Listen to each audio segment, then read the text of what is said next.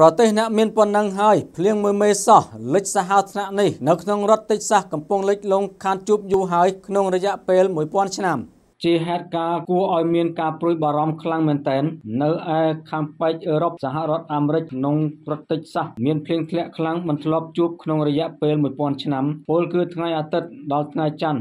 22ខែសីហាឆ្នាំ2022ថ្មីថ្មីនេះយ៉ាងណាមិញនៅក្នុងរដ្ឋតិចសាសខាងជើងជួបប្រទះនឹងទឹកជំនន់មួយក្នុងរយៈពេល1000ឆ្នាំនៃភ្លៀងធ្លាក់ខ្លាំងក្នុងរយៈពេល24ម៉ោងបណ្ដាលឲ្យមានទឹកជំនន់ខ្លាំងជាពិសេសនៅទីក្រុងដាឡាស់មកពីការប្រែប្រួលអាកាសធាតុភ្លាមភ្លាមនៅខែសីហានេះពលគឺពាក់កណ្ដាលរដូវក្តៅហើយប៉ុន្មានថ្ងៃមុនកម្ដៅឡើងដល់40អង្សាយោងតាមរបាយការណ៍ CNN ប្រជាជនជិត15លាននាក់នៅរដ្ឋតិចសាសខាងជើង និង Southern Arkansas កំពុងប្រុងប្រយ័ត្នចំពោះទឹកជំនន់នេះផងដែរជាមួយគ្នានេះកម្ពុជាក៏មានកម្ដៅឡើងខ្លាំងណាស់ដែរកាលពីម្សិលមិញថែមទាំងមានភ្លៀងធ្លាក់រាយប៉ាយផងដែរសូមបងប្អូនថែរក្សានិងប្រុងប្រយ័ត្នទាំងអស់គ្នា